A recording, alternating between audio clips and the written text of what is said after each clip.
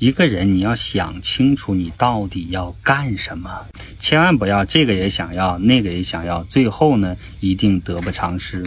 当你选择了以后，你就一心一意的把这一件事情做好就够了。